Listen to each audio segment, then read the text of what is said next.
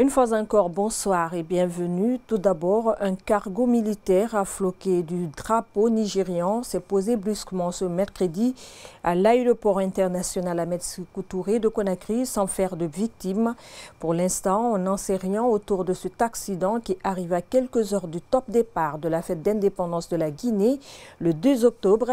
La SOIGEAG a de son côté annoncé qu'un incident a eu lieu à l'aéroport international Ahmed Touré entraînant la fermeture de la piste. L'ensemble des équipes présentes sur place s'activent pour une réouverture au plus vite, ajoute la SOGEAC. Nous y reviendrons.